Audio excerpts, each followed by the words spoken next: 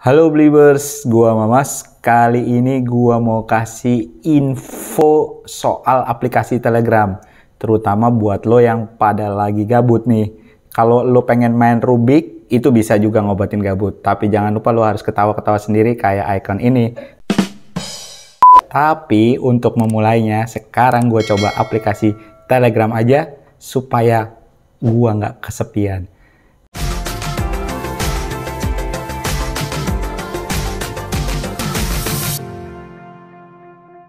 Caranya ini gua mau masuk ke Anonymous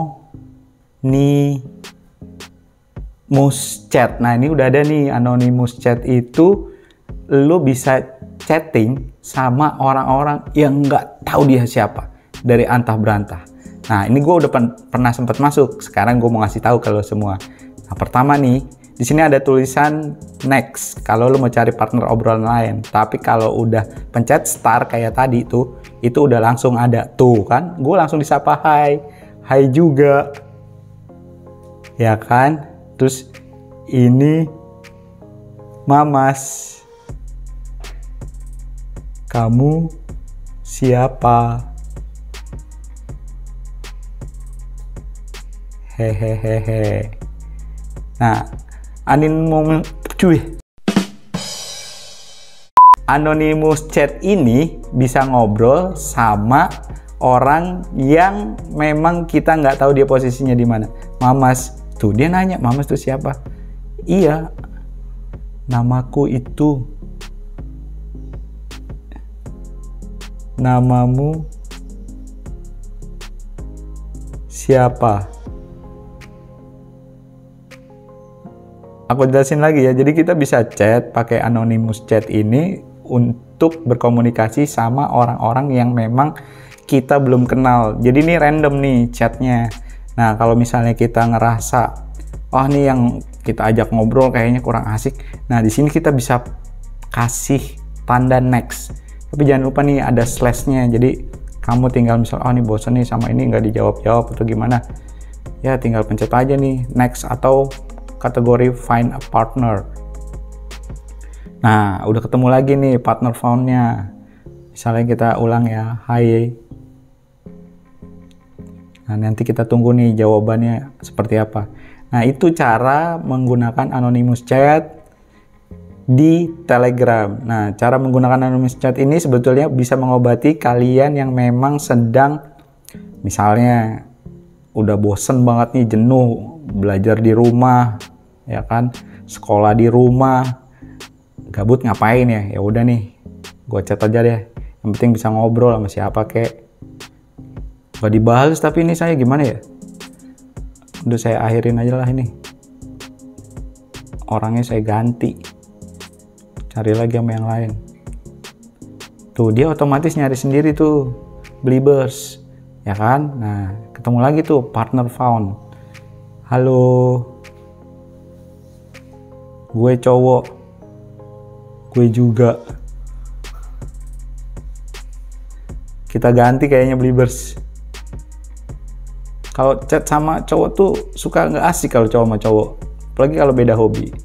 Kurang ship mending sama cewek aja nih supaya kita bisa melebarkan sayap kasih sayang ke mana-mana. Oke. Okay. oke kita coba lagi cari ya. Search cari aja. Nama juga anonymous. To find a partner. Oke kita cari lagi. Oh lagi looking looking. Oh dapat lagi nih. Gue cewek gue cowok. Ini baru bikin semangat nih ya gak? Tinggal di mana? Ini tuh kayak kenangan kita waktu di zaman dulu kali ya. Bukan kita sih saya sih. Zaman Yahoo Messenger nih suka kayak gini nih. Jadi kayak uh, Hi ASL PLZ. Nah, kalau zaman saya itu tahu ASL tuh age sex location. Jadi kita bisa tahu tuh umurnya, cowok apa cewek, kayak gitu kayak gitu. Terus tinggal di mana. Biasa namanya juga temen ngobrol ya. Salken, woi Salken juga dong.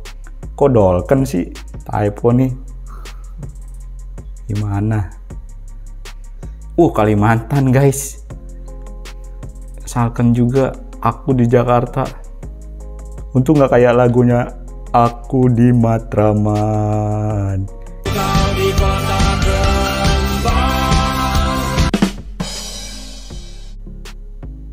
Gimana kabar?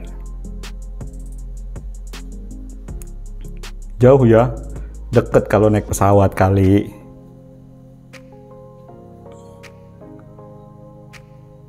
Oke, Blibers.